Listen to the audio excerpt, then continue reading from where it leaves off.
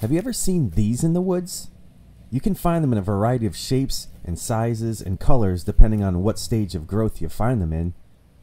They're referred to as oak apples or oak galls. But do you know what causes this?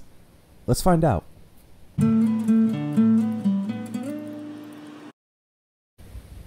A gall is a kind of swelling growth on the external tissues of plants. They are abnormal outgrowths of plant tissues. It's similar to an animal growing a wart.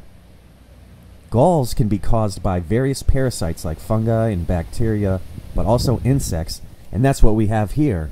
Most usually, these are caused by the oak gall wasp. They're caused by the chemicals injected by the larvae of these gall wasps. The insect's saliva contains various chemicals and induces shock and osmotic changes in the host plant's cells.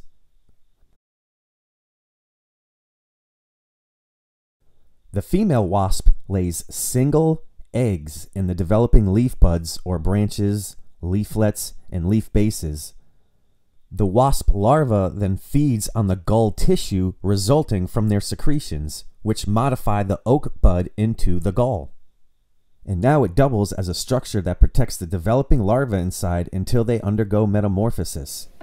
The oak galls or oak apples can be reddish, yellowish, greenish, pinkish, or brownish.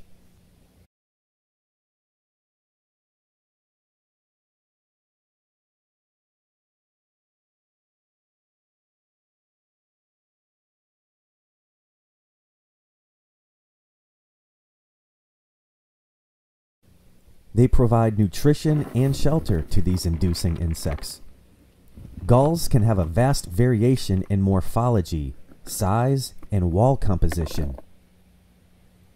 The size of these insect galls can range significantly anywhere from 2 inches in diameter to less than a sixteenth of an inch. Internally, galls also can exhibit diverse structures.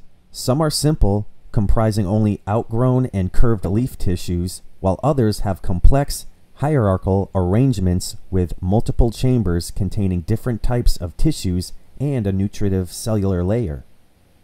So be sure to stick around for some of my other videos where I cut a few of these open. In general, the gall wasp gall has the outermost layer, the epidermis, followed by the outer cortex and then inner cortex.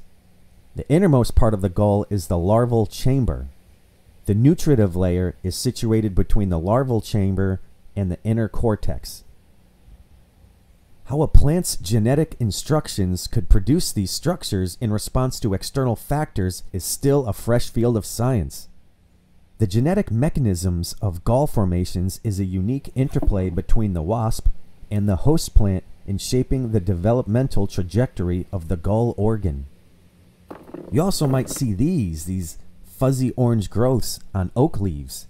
These are also galls. People might mistake them for a caterpillar or a cocoon or something, but these are also produced by a gall wasp. They're found along the main veins of these leaves to which they are attached. A very small wasp is implanting an egg into the growing leaf, and a feeding larva's saliva causes a gall to form because the tree is trying to protect itself.